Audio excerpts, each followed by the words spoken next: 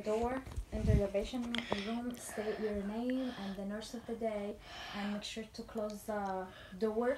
wash the hand, hand hygiene, and uh, tell the patient, uh, ask the patient name and date of birth and why you're here. This uh, video is about how to collect a sterile st- sputum.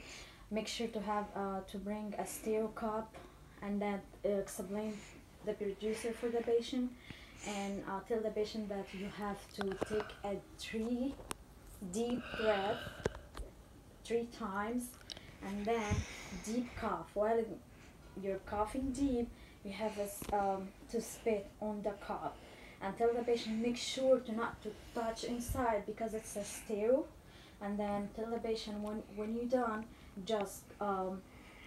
call call us for I can come just collect it. And I came to collect it um, make sure uh, to place it in the bag write my initial time patient name and date of birth and right away I have to send it wherever it